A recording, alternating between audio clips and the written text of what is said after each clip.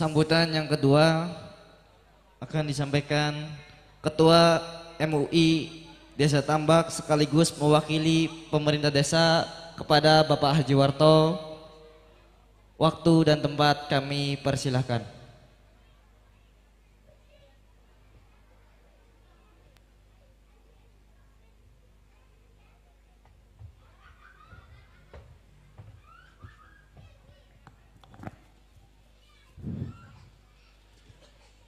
Assalamualaikum warahmatullahi wabarakatuh. Innal hamdalillah nahmaduhu wa nasta'inuhu wa nastaghfiruh wa na'udzu billahi min shururi anfusina wa min sayyiati a'malina may yahdihillahu fala wa may yudlilhu fala hadiyalah. An la ilaha illallah wahdahu la syarikalah sayyidana Muhammadan abduhu wa rasuluh. La hawla wa la quwata illa billah amma ba'du. Yang saya hormati Al-Mukarram Bapak Kiai Abdul Wahab dari Jakarta beserta pendampingnya yang saya hormati Ketua DKM baik Masjid Atoba Nudadiin dan Ketua DKM musolah-musolah lainnya yang hadir di majelis yang dimuliakan Allah ini. Dan yang saya hormati Bapak Guru tentunya yang saya hormati juga bapak-bapak, ibu-ibu, adik-adik yang saya banggakan. Dan yang saya hormati tentunya yang tidak bisa saya sebutkan satu persatu.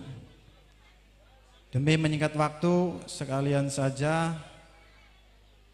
saya sekaligus barusan ya, pembawa acara pokon sekalian wakili ucapannya pemerintah desa aja Bapak Kubu Bapak Kubu lagi halangan ya pegel.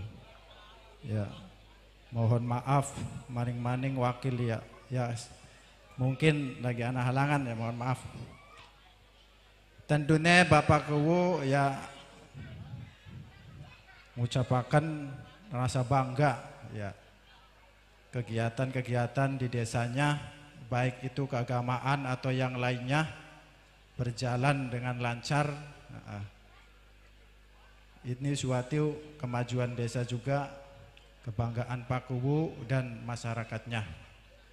Mudah-mudahan kebanggaan itu Bapak Kuwu selalu mendukung, mendukung masyarakatnya. Dan kembali saya selaku Majelis Ulama Desa Tambak menghimbau kepada bapak-bapak, ibu-ibu ya yang sudah berada di sini atau menyaksikan dari pagi sampai sekarang anak-anaknya yang ikut lomba alhamdulillah ya ada yang mendapatkan piala-piala ya suatu penghargaan. Itu juga suatu kebanggaan bagi orang tua. Maka dari itu sebagai majelis ulama desa Tampak menghibau agar orang tua selalu mengarahkan anaknya ke pendidikan-pendidikan baik itu pendidikan dirgama maupun pendidikan agama. Karena menuntut ilmu itu suatu kewajiban. Iya. Wajib jari Gusti Allah. Utlubul ilmi faridotun ala kulli muslim ya. Itu suatu kewajiban. Jadi tentunya singgawe semangat ya Bapak Ibu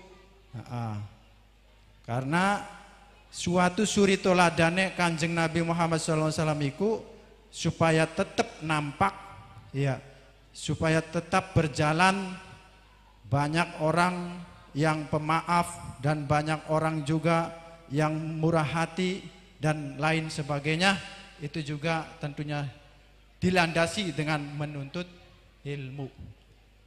Maka dari itu ayo kita sebagai orang tua tetap diarahkan ke pendidikan-pendidikan ya. Di sini ada pendidikan madrasah, dua madrasah. Madrasah yang pertama yaitu Radatul Quran, kedua Miftahul Ulum. Monggo bagi yang belum diarahkan ke pendidikan agama, monggo diarahkan ke pendidikan agama supaya desa ini semakin maju. Generasi-generasi kita semakin menjadi generasi yang pintar. Ya. Apalagi temanya ini mengangkat generasi. Ya. Orang Islam ya tentunya nuntut ilmunya ilmu Islam. Ya. Jadi saya selaku majelis ama yang menghimbau kepada bapak-bapak, ibu-ibu agar selalu semangat mengarahkan keturunannya untuk menuntut ilmu. Dan saya mohon maaf kepada yang ada di sini ataupun yang ada di luar negeri atau yang melihat YouTube mungkin. Saya baru pertama sekali melihat yang tulisan Allah Muhammad Allahnya di sebelah sini. Dari kecil baru melihat. Ya mungkin ini ada suatu kekurangan apa salah terap ya menerapkan. Ya saya mohon maaf selaku majelis amal dan setampak ya. Salah penerapan. Hmm, baru melihat saya seumur saya itu Allahnya biasanya di sini ya sebelah sini Muhammadnya sebelah sini maka dari itu saya mohon maaf selaku majelis amal dan setampak mungkin ini ada suatu yaitulah namanya manusia terkadang ada kekurangan-kekurangan mohon maaf begitu saja sambutan dari saya selaku majelis ulama Kurang dan lebihnya bila sebagai hidayah. Wassalamualaikum warahmatullahi wabarakatuh. Waalaikumsalam warahmatullahi wabarakatuh. Terima kasih kepada Bapak Ketua MUI Desa Tambak yang sudah memberikan sambutan serta masukannya.